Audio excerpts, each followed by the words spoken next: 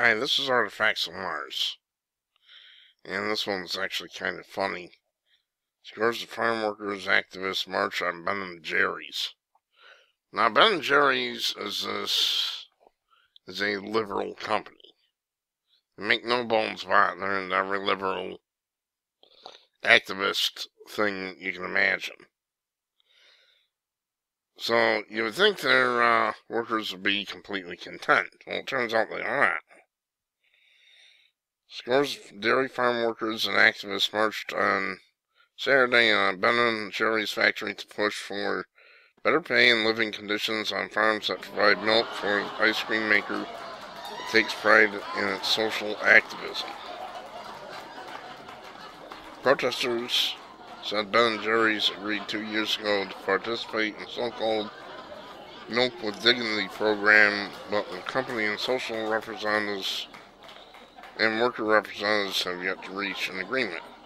We can't wait anymore. We're going to pressure them and see what happens, says Victor Diaz, a Mexican immigrant now working on a farm in Vergennes, where that is. Ben Jerry spokesman Sean Greenwood said before Saturday's march from the State House to the Waterbury factory, the company was eager to reach an agreement and negotiations were underway. We are a values-led business.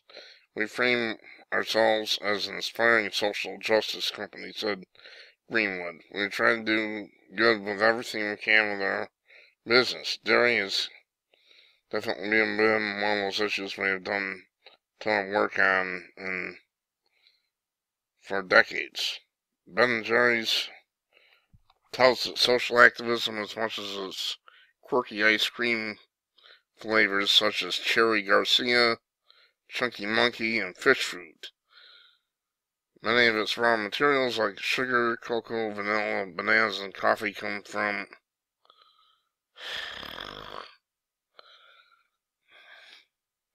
producers across the world that subscribe to the Fair Trade program, which promotes higher prices and better working conditions.